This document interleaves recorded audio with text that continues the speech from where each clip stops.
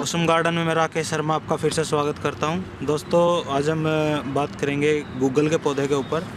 तो गूगल के पौधे की जो हर्बल प्लांट में देखा जाता है, इस प्लांट को हम जैसे दवाइयों में इसका यूज़ होता है। पेट दर्द में, मांसपेशियों में अगर दर्द है, उसके लिए इसको यूज़ किया जाता है। और दोस्तों, इसको जो हमारी अगरबत्तियाँ धूप बत्तियाँ बनती हैं, उसको भी, उसमें भी इसको यूज़ किया जाता है। तो इसको गूगल के ये पौधे हैं, जो आप देख रहे हैं, कितनी अच्छी लुक आई हुई है इनकी। बहुत ही ज़बरदस्त लग रहे हैं मेरे को। और दोस्तों, इसके पास लीव्स भी बहुत छोटे हैं तो हम इनको अगर कटिंग से ग्रो करते हैं तो हम एज ए बोनसाई इसको अपने घर में ग्रो कर सकते हैं।